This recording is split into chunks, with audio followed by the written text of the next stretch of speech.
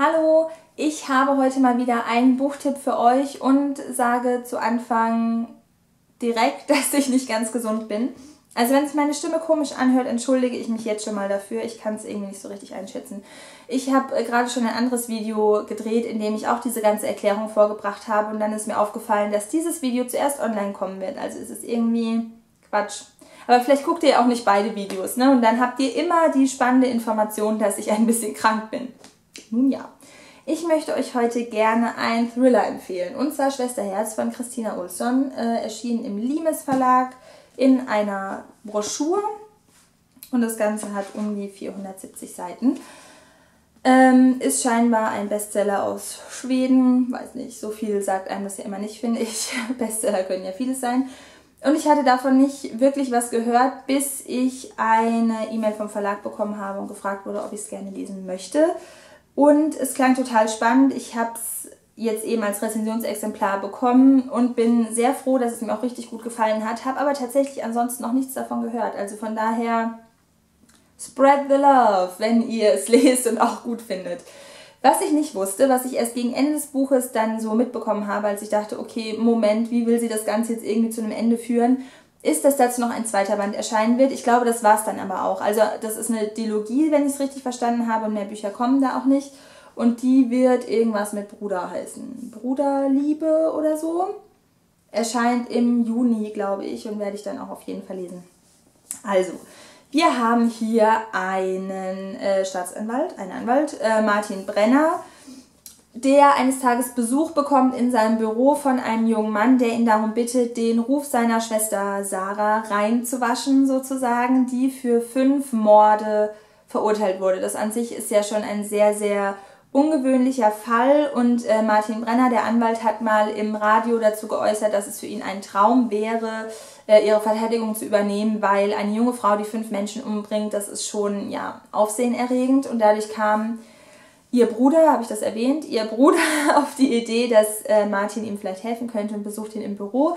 Das Problem ist nur, dass Sarah mittlerweile tot ist. Und eigentlich hat Martin anfangs gar kein Interesse, den Fall zu übernehmen. Sie ist tot, das Ganze ist geklärt. Es erscheint sehr, sehr offensichtlich, dass sie schuldig ist. Aber ihr könnt es euch denken, ansonsten gäbe es dieses Buch natürlich nicht. Ähm, er beginnt ja so ein bisschen zu recherchieren, sich nochmal mit dem Fall zu befassen und denkt, es schadet ja nicht, sich da nochmal ein wenig einzulesen. Und letzten Endes ist er natürlich voll drin. Also wie schon gesagt, er ist Anwalt, kein Kommissar. Das heißt, er übernimmt jetzt im Grunde keine polizeiliche Ermittlungsarbeit, sondern ermittelt so für sich, was ich gar nicht so schlecht finde. Ähm, es ist mal wieder ein bisschen was anderes. Und ja, schaut eben oder versucht herauszufinden, ob dieses Mädchen tatsächlich schuldig ist oder nicht.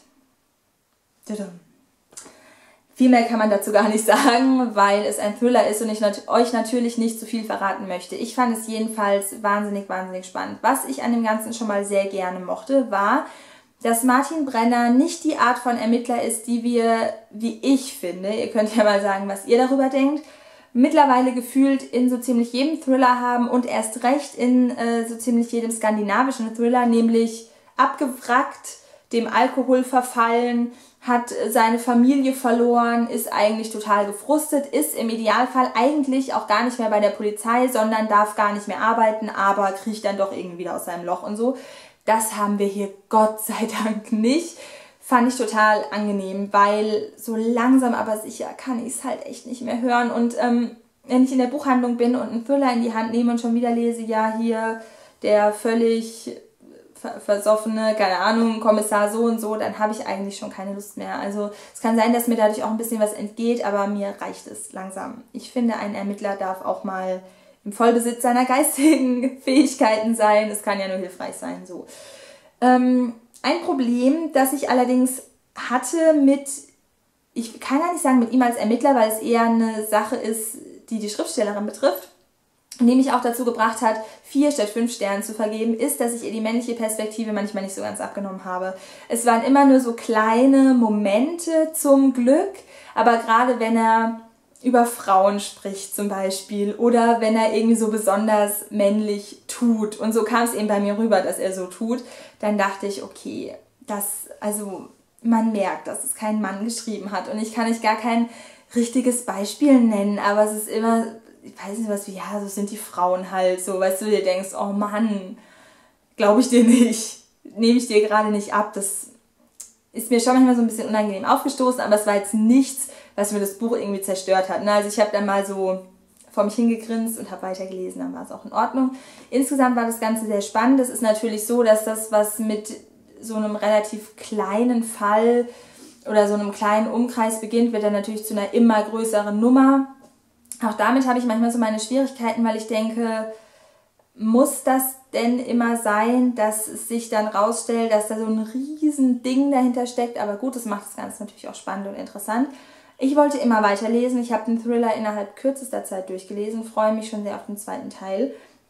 Kann ihn euch absolut empfehlen. Ähm, es ist nichts hundertprozentig Neues, ehrlicherweise. Aber sehr, sehr spannend, sehr gut geschrieben. Wie gesagt, der Ermittler war mal ein bisschen was anderes. Der Fall war interessant. Es gab auf jeden Fall viele überraschende Wendungen. Also wenn ihr mal wieder Lust auf einen schönen Thriller mit einem netten Ermittler habt, dann ja, kann ich euch Schwesterherz auf jeden Fall ans Herz legen und hoffe, der zweite Band wird mir genauso gefallen. Viel mehr kann ich dazu gar nicht sagen. Eine Rezension zu einem Thriller fällt irgendwie verdammt kurz aus, weil man nichts vom Inhalt verraten kann.